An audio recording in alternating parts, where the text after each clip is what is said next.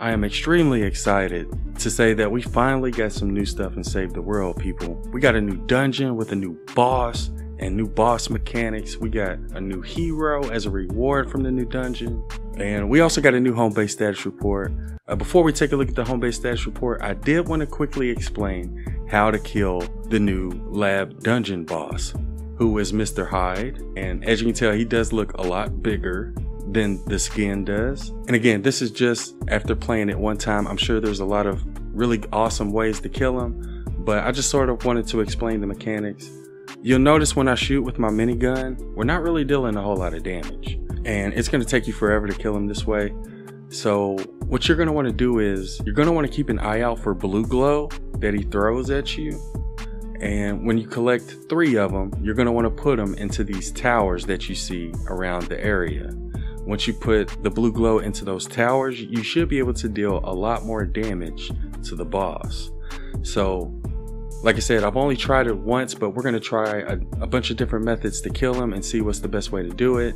But no matter what method you use, you're going to want to put BluGlo in the towers and then try to deal damage to the boss. Another thing I noticed while we were shooting at Hyde is that he sort of struggles when it comes to walking underneath this little archway. Uh, I noticed when me and my entire team went through the archway, like he sort of got stuck and he couldn't walk through it, which made it really easy to shoot at him and not take a whole lot of damage. He did eventually end up getting through it, but that's just something else I wanted to point out. It may help you deal a little bit of extra damage without taking a whole lot of damage. Uh, try to walk through the walkways and you can sort of slow him down or stop him completely from getting close to you and dealing damage to you. So just wanted to explain that really quickly. As you can tell, the map looks completely different. Even when you load in, it sort of looks a little bit different. Sort of reminds me of the Frostnite map a little bit or Crackshot's neighborhood. But once you get inside the lab, which is underground, all of that is new and I haven't really explored it yet, but I'm really looking forward to exploring it. I'm really looking forward to testing out some different loadouts against the boss. So we're going to be streaming it on Twitch later today, and I'm also going to try to upload some gameplay later. But yeah, just wanted to give y'all a heads up on how to kill the new dungeon boss. And by the way, I'm loving the new dungeon boss. I'm loving the new dungeons. I love the way it looks. I like the mechanics. Uh, if you haven't played Save the World in a while, I would recommend coming back and trying out this new dungeon. I think you might like it.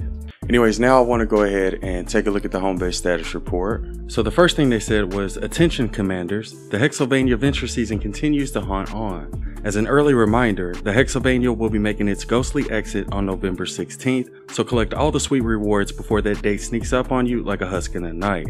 Another heads up commanders, in a future update, the Save the World playlist will move out of the sub game select screen and join the rest of the Fortnite in the discovery menu. We will keep you updated on this process. So what I believe that means is you're gonna have to go into BR and then select save the world from there. Anyways, they then went on to say after weeks and weeks of searching, we have finally uncovered the new dungeon just waiting to be explored. You're probably eager to learn more about it, so let's get started.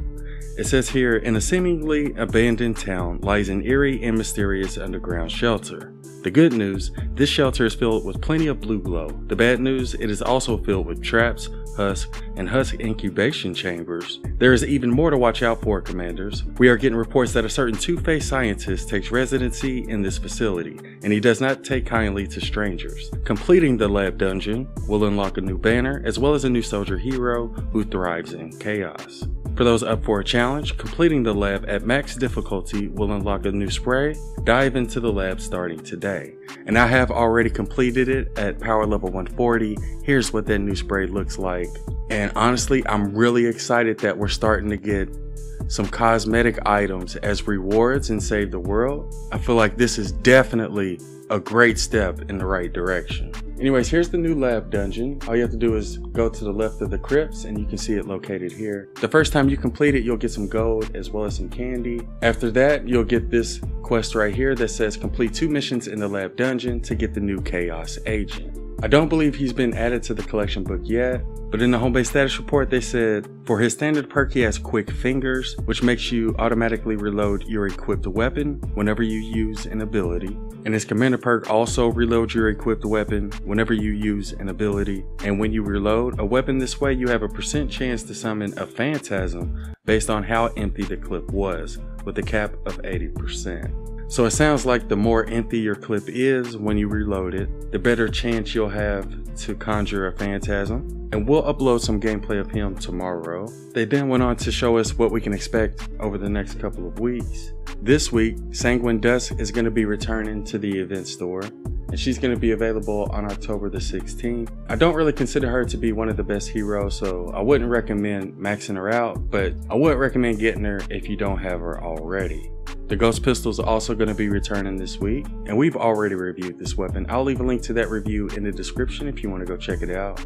The Blady Acres quest line is also going to be returning this week, and it's going to be available on October the 16th at 8 p.m. And it says here that Strange Cube has invited the home base squad to another one of the dark rituals. This one takes place at the Blady Acres summer camp. It won't be all fun and games though, as the camp just so happens to be loaded with dangerous, sharp objects. Don't let this imminent slasher thriller scare you away from completing this questline, as doing so will reward you with everyone's favorite Bloodhaven pyrotechnic alumni Raven. This questline becomes available on October 16th at 8 p.m. Uh, I would recommend getting him if you haven't gotten him already. His lefty and righty does a lot of damage. Last time I checked, he is bugged when you put him in your support team, but you're still going to want to get him because his lefty and righty is really good. When you get him, you also get the preemptive strike team perk, which is a really good team perk to use with high damage weapons like sniper rifles, shotguns, and rocket launchers.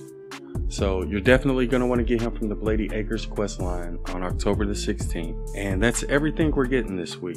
Like I said, they also told us what we can expect to see next week. The only thing we're going to be getting next week is Bloodfinder AC.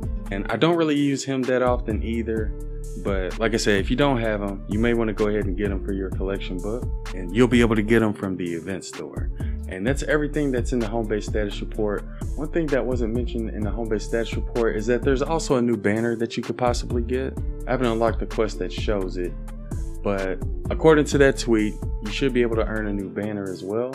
So yeah, to sum things up, I love the new boss that's in the lab dungeon. I love the lab dungeon as well. And I really like the fact that they're giving us cosmetic items as rewards. I'm really hoping that they continue doing this because this is exactly what Save the World needed, in my opinion. Anyways, we're going to be streaming some more dungeons on Twitch as soon as I upload this video, and we're also going to upload some of the new dungeon gameplay a little bit later. And like I said, we'll review the new hero tomorrow. Anyways, let me know what y'all think about today's update. I hope y'all found this video useful, and thanks for watching.